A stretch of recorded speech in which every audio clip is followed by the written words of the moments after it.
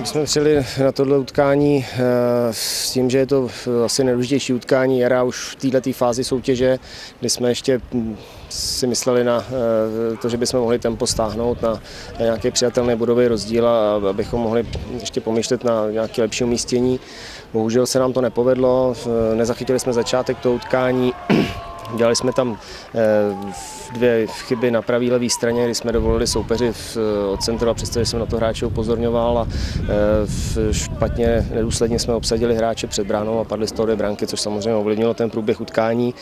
Eh, nám se navíc nedařila vůbec hra, nedařila se nám kombinace, samozřejmě na tom terénu ta kombinační hra asi tady se hrát moc nedala, ale to bylo pro obě mužstva stejný a my jsme hold prostě do toho nedali to patřiční nasazení a, a ten drive, který jsme měli v minulých dvou utkání a proto jsme asi prohráli. No.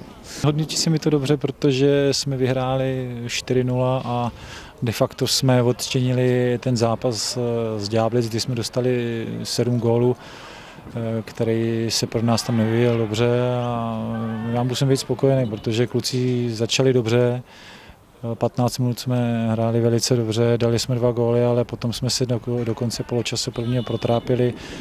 Ďáblice eh, začaly hrát a měli tam nebezpečné eh, akce, které prostě zaváněly složitosti pro nás, ale tak jsem jim trošičku musel zvednout hlas v poločase a druhý poločas už eh, prostě jsme tam předali pohyb a, a hlavně, hlavně důraz osobních soubojích. No.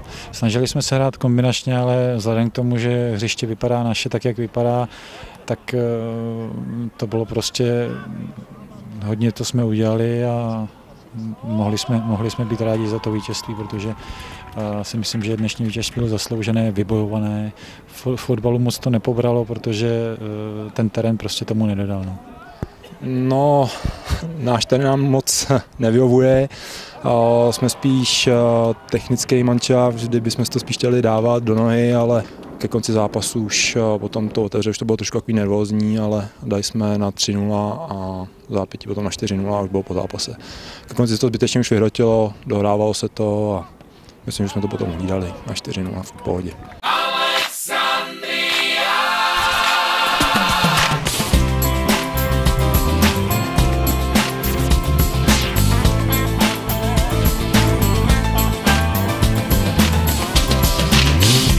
Každý rok máme cíl eh, být první v té soutěži.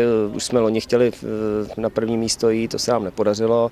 Eh, letos už bohužel asi taky ne. Je to v těch hlavách těch hráčů. No. Já si myslím, že kdyby ten přístup byl trošku jiný, řeknu profesionálnější, tak tohleto mužstvo určitě má navíc, než v současné době v tabulce se nachází.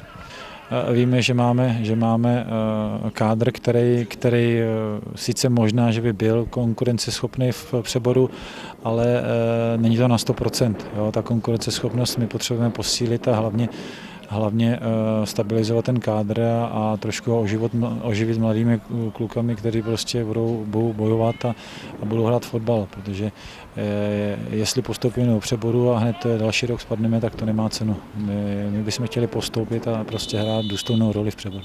Do posledního klase chceme o to a, a chtěli bychom potom, uvidíme, co z toho bude, ale chtěli bychom postoupit. Musel jsem opustit hřiště, protože v, samozřejmě rozhodčí eh, v tomhle utkání, přestože byl rozhodnutý, eh, dělal chyby, hrubé chyby. Eh, myslím si, že i umyslně v prvním poločase dal žlutou kartu za tři zákroky, které podle mě v kartový až tak nebyly našim klíčovým hráčům a nakonec tady vyloučil Horváta za faul, který podle mého názoru možná ani nebyl.